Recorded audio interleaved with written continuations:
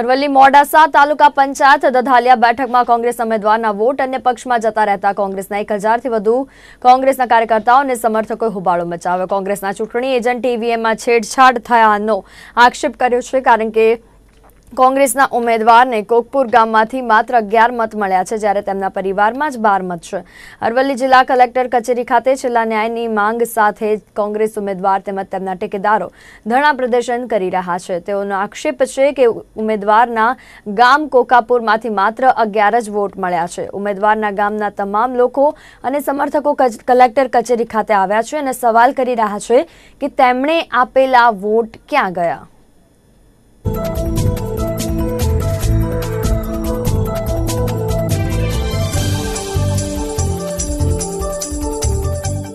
વોટનો ન્યાય જોઈએ બીજું કોઈ નથી જોઈતું.